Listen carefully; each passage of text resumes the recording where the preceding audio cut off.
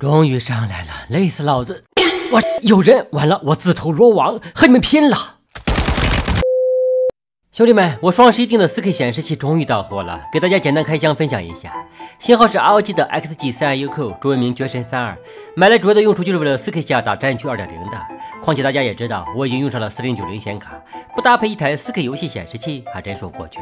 价格的话，双十一期间是五九九九。其实，在这个价格段，还有一台更高端一点的超神三二，贵了几百元。不过综合对比下来，感觉还是绝神三二更适合玩 FPS 游戏。具体原因下面会讲到。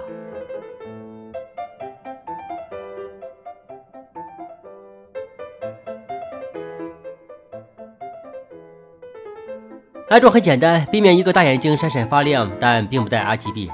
这里需要称赞一下 ROG 新款显示器的底座，相比我之前用过的显示器要更节省空间。毕竟我卧室的桌子宽度仅有五十五厘米。主要接口部分搭载有 HDMI 2.1接口，可以在 PS5 这类游戏主机上实现原生 4K 120赫兹的游戏画质。另外还有一个 DP1.4 接口，支持 DSC 显示流压缩技术，可以满血输出 4K 高刷游戏画面。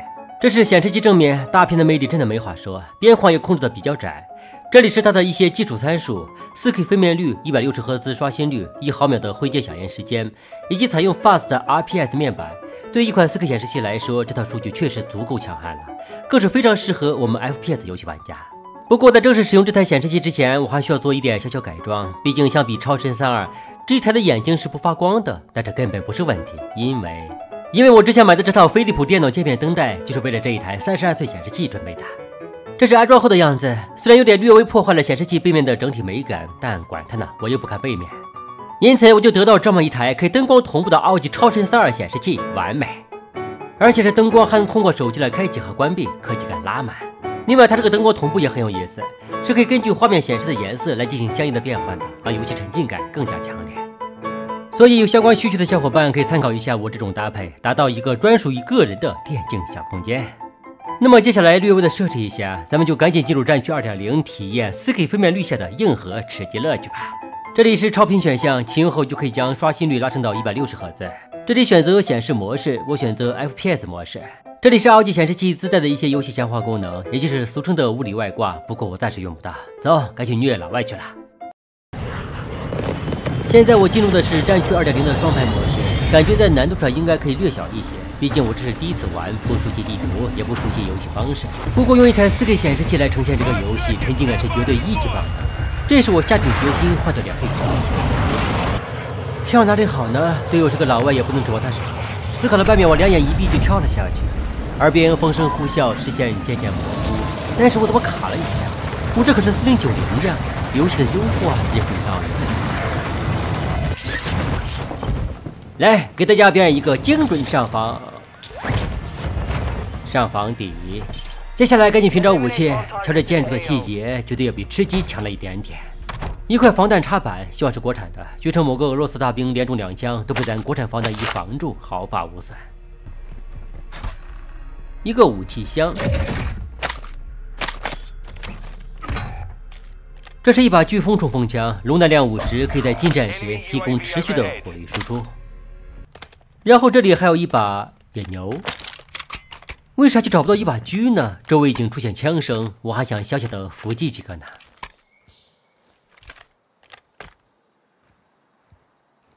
嗯，天哪！我发现老外了，正在向我这个区域跑来，好紧张呀！他会好好的听话让我打一下吗？越来越近了，应该差不多了。人呢？在这里。哎呀，这没有配件的武器跳动太厉害了，赶紧溜！人家可是两人，我孤掌难鸣。停，反击这么快就过来了，保命要紧。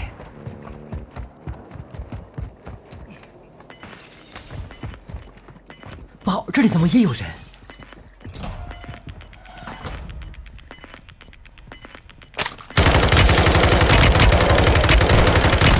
哇，这么结实吗？大事不妙！刚离开贼窝，又入狼穴，我怕是要小命不保，谁来救救我呀？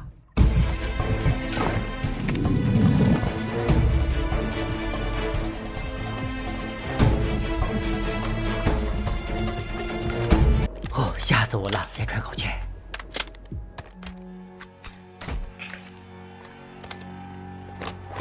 真的是太险了！我的三块防弹钢板全部被干爆，兄弟们，这绝对比吃鸡刺激多了呀！好机会，应该是死车体了吧？他还有一个队友，只要再弄死他，我就安全了。嘘，来了。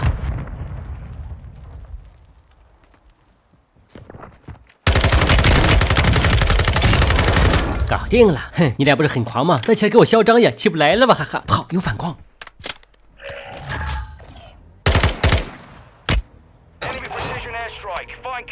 你别嚣张，等我填一把步枪弄死你！哇，什么情况？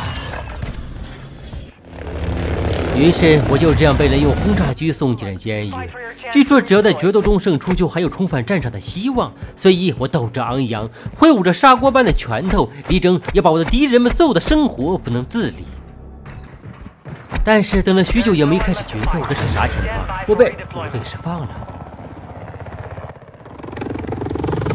我就说嘛，我是个好人，监狱可容我清白。但是我的武器貌似被没收了，还得重新费点功夫。不多时，我攀上一个房顶，找到一挺 RPK 轻机枪，看起来是不是很熟悉？它是在 AKM 突击步枪的基础上发展而来的，一度被称为“枪界硬骨头”。原因是据说它曾一口气发射了一万多发子弹，主要部件仍然完好无损，所以皮实耐用是其最大特点。但是我感觉自己可能不太耐用，要跑毒了！四周可见载具横行，我必须也得找台车才好。不妙，远处驶来一辆车，速度隐蔽。哎，这啥运气！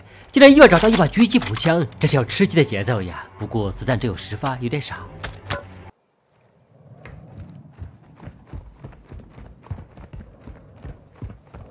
这辆车应该是可以开的吧？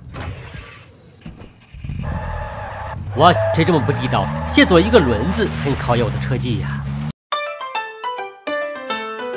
哎，实在是爬不通了，就到这里吧。这好歹是进了圈，距离吃鸡又近了一步。既然有了居屋的寻处高地，才能尽量发挥出我的真正实力。远处这个塔不知道能不能上去，好像有梯子，有门。终于过来了，累死大爷了！看着挺近，没想到跑过来这么累。不对呀，这么好的地方，上面不会已经有人了吧？不错不错，安全。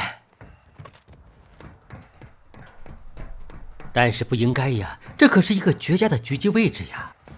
终于上来了，累死老子！我，有人！完了，我自投罗网，和你们拼了！嗯？咦，他为啥不理我？没钱买耳机？不对，该死的，他这是瞧不起我！哼，让你们看不起人！这一刻，一种从未有过的幸福感萦绕心头，一下子啥都有了呀！看得我眼花缭乱，不知道选啥。不过这把西格诺五零貌似比我那把狙要好一点，换了它。但是又要跑毒了呀！这颜色一看就很毒，落在其中肯定不是个好滋味。咦，发现两个小可爱，嘿嘿，正好试一下我的新狙。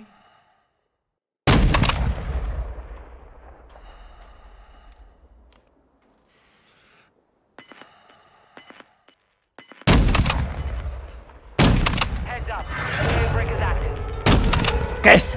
剪辑，一会把这一段剪掉，这瞄准镜肯定是摔坏了。毒来了，必须赶紧离开了。不太妙呀，好多老外都在下面跑路，我我好像变成猴娃子了。万幸，这一招管用了，这是在现实中早就拍成馅饼了。不好，有人打我！自创步伐启动。可恶，我完了。哎，他不补枪的，哈哈，老子又活了！哇，好机会，太被击倒了，而且还被补了，嘿嘿，活该，我又活了，羡慕不？赶紧跑！这不是刚才不配吼狙击的人活该吗？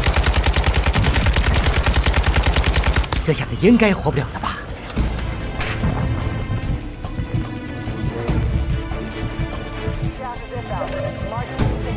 进圈了，赶紧找地方休整一下。这游戏真的是太刺激了。如果这个时候带着测心率的手表，我感觉应该能直接爆表。